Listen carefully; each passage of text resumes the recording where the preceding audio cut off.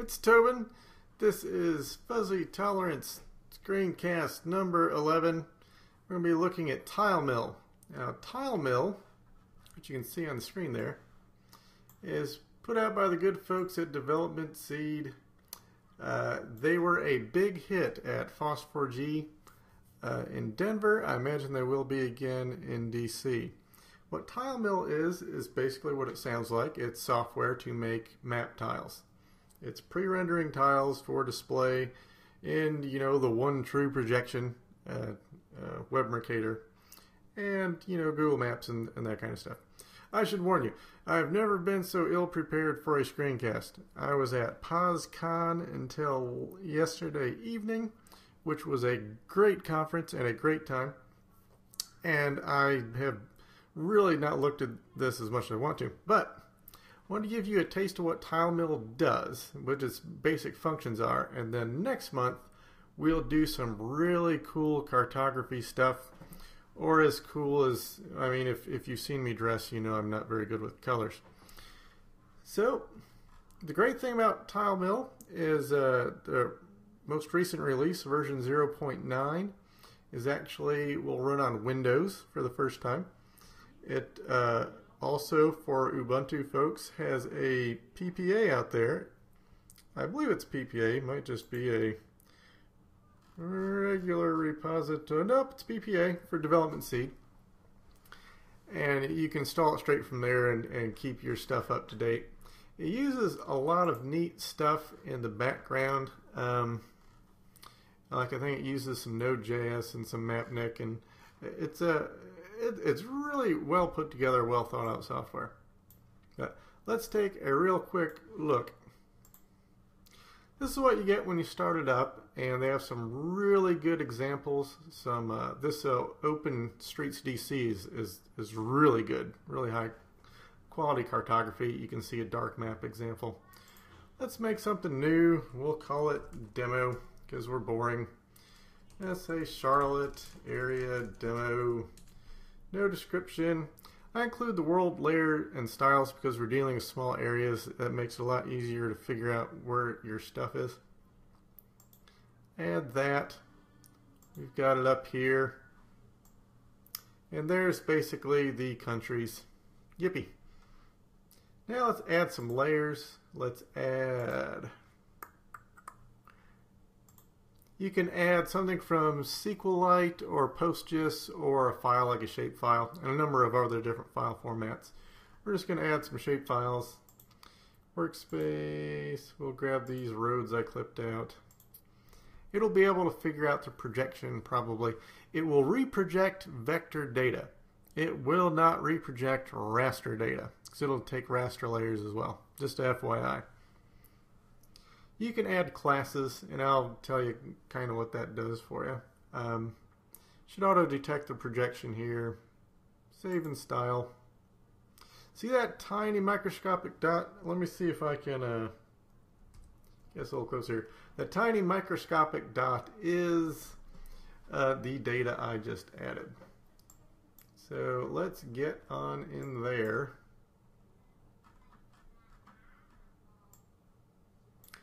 And get it in there. One of the things I like to do before I do anything else is just so the next time I go in, I mean it's set to where we were looking at before as the default extent. That's kind of a drag. So let's get on in there. Delete that center point. We're giving it basically a map extent and zoom levels and a center of the map. Let's get on in there. Oh, where to go? There I am. We want to go to like 14. And we will set the, let's set the map extent about right there. You can put these coordinates in by hand, but you know, who in the right mind wants to do that? We'll set the zoom extents from like 14. I will say, uh, yeah, let's go 14. And we'll put the center point right about in the middle of our stuff. And we'll save that. That way the next time we come in, we'll know where it'll come right back to where we were and we can get rid of this countries layer. I like the countries layer just so I can find where my crap is. Because you know I, I, I, have a very small crap extent and uh, I, I need to find that stuff. So let's get rid of this country styling. And let's change this to good old white map background. Now, the styling you do with TileMill is CSS-ish. I mean, it's basically CSS with some extras here to there to do different things like specify a zoom level, specify a query on your data. Um, so it's not exactly CSS. I think they, they must run some kind of CSS preprocessor because it has some, some syntax you would see like in less or Sass or something like that. But here we can set the map background color and we got that plain old white. And you notice when we added our roads layer, it gave it an ID of roads. You can give it a class as well, and you can give it multiple classes. What you see it did here is it made that ID of roads as treating it just like an, a CSS HTML ID tag, and a line width and a line color. And that's coloring all of our roads. Well, that's kind of dull. Let's see. Let's go. Uh, what do you want to do? First, first. Oh, good idea. I mentioned the Sass uh, uh, less that kind of CSS preprocessor stuff. You can stick in some, you know, at symbol and a essentially it's a variable name and some colors. And that, that's really helpful. You can put your whole color palette at the top. Any color you declare in the map, you'll see down at the bottom here. And that is essentially, I mean, that's, that's your colors. Anything you have declared, the map will appear down here. It's really handy. You can go to like Color Lovers or something and get a color palette made by people that know what they're doing and use that for your map colors. And, uh, you know, happy thing for everyone. So here's just three colors. I kind of nabbed these from the OpenStreetMaps DC style, which again is a great example style. Now with CSS, and you can have more than one style sheet, it works the same way as, as regular CSS. Uh, the last thing in wins. If I set this roads roads to line, if I can get my fingers Line up line width three and save it. Because this is the last one in, that's the last one that gets drawn. Now here's where you could use those classes. You could say, uh, you know, treat those different classes as different in different ways. What we're going to do instead, which is kind of the same but different, we are going to do some basic querying. We're going to do roads. Now this is where Thor oh it's something like that. Thor oh this is my date. I don't even know what it looks like. I just kind of know that's what the interstates are in our data. Here's how you can query and and essentially style to a particular a particular query. So here, you can also see your data if you look at your layers and click on the magnifying glass. It'll pull up a sample table and you can see the, the fields and, and values. That's, that's very, very handy. So we've got thoroughfare equals freeway. So we're just going to hit those. And let's give those say a line width of 9. Big, big honking things. And then let's give, what do you want to do? Let's do line, color, yeah, I already got one of these set. At highway. See, we've got this at highway up here. It's just pulling that color and, and shoving it in there. That's really handy. See how it's it's it's a big thick thing? That's that's what we just did. Now we're going to do some fun stuff. You see highway symbols on a good looking website, they're like 2D-ish.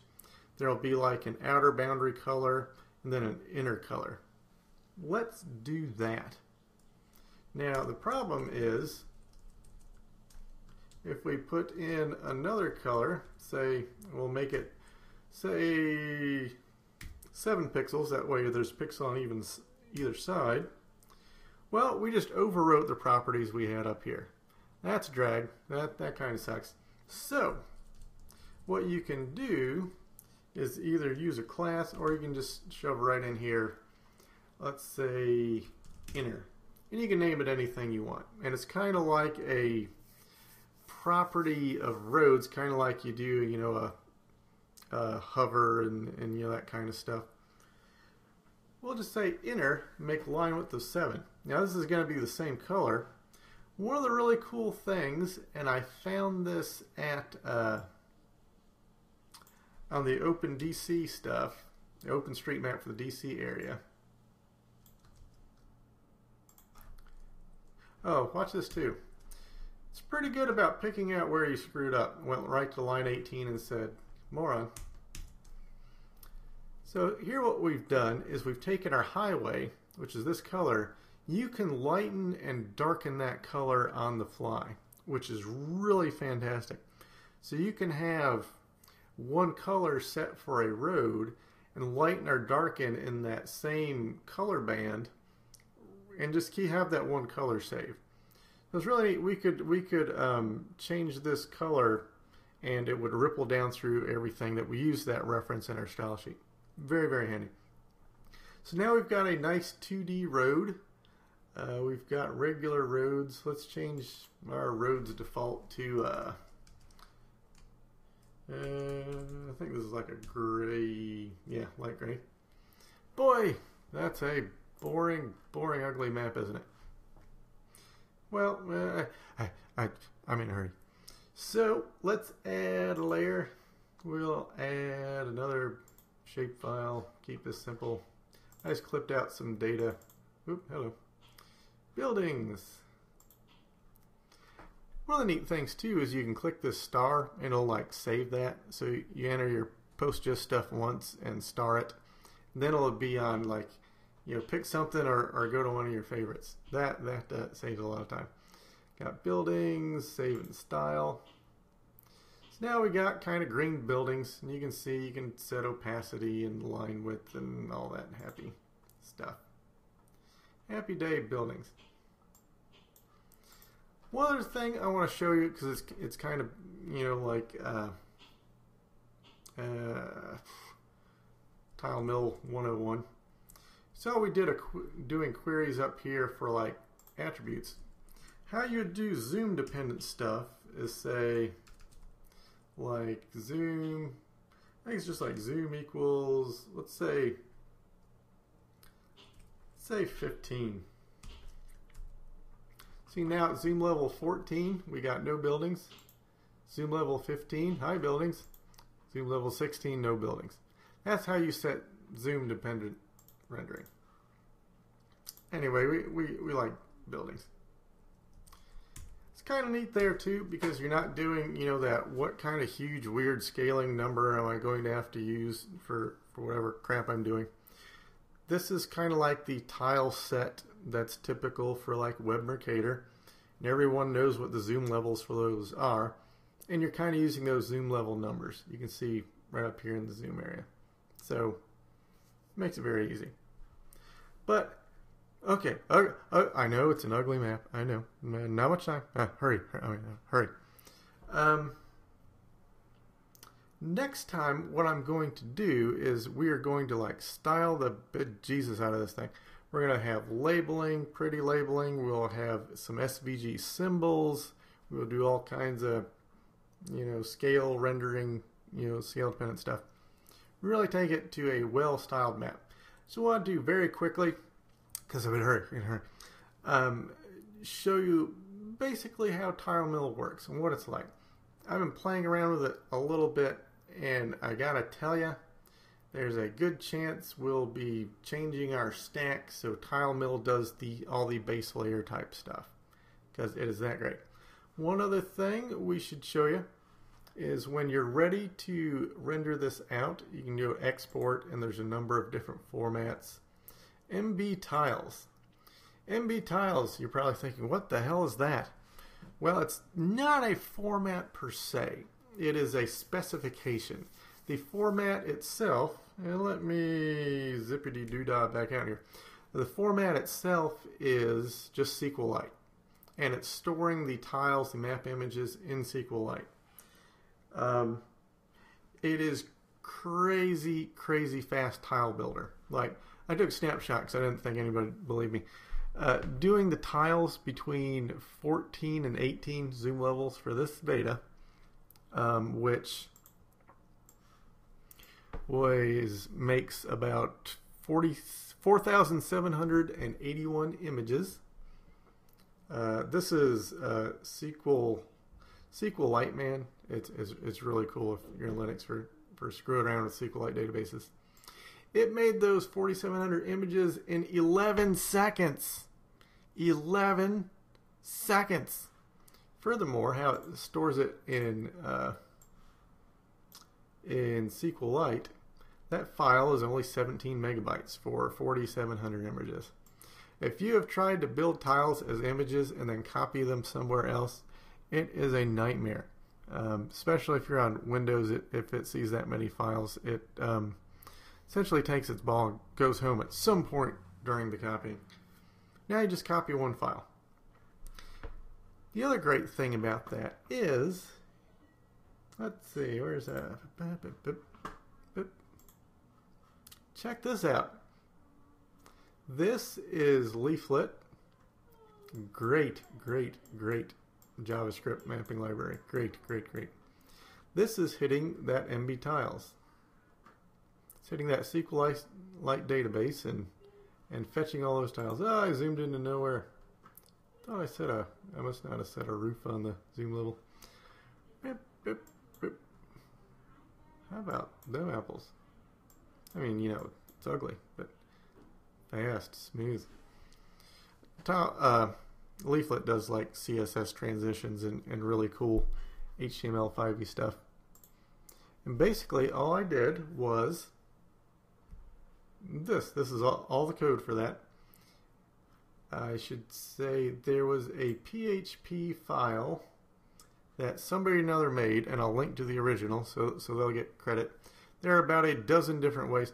All you're really doing is uh, show you what that PHP file looks like all you're really doing is accessing that uh, SQLite database. There's different ways to do it from PHP or Python or .NET or whatever heck you want to do it with. It's, it's, it's fairly straightforward. And I will link you to where I found that, if I can find where I found that. Yeah, look, we're, we're drawing tiles. There is GIS squat going on on the server end here. Squat. Bupkis. It is we are basically just rendering these pre-built tiles from a SQLite database. It's fast, it's smooth, it's it's low weight on the disk, it's easy to move around. Great, great stuff. Now you can. There's actually an MB utils library where you can actually chuck the images out of Spatialite. The reason why you're going to do that because uh, hitting a file is, is always going to be quicker than querying querying a database and sending that out. Uh, so you could do something like package it in MB tiles and then fling it to a server or maybe you know an EC2 instance and then unpack it when it gets there. So it's not having to do those kind of quick SQLite database lookups. Uh, volume I work with, it's probably would not make a difference, but you know you can you can see what your life is like, and, and maybe it's that bad. Anyway, that is a really quick, uh, how basically how TileMill works. The really joy of it, I haven't touched on yet, and that's all the fantastic uh, ways you can do cartography with TileMill. And next time we'll do that. Uh, for now, I am going to run screaming out of here. So, have a good one. I'll see you. Bye bye.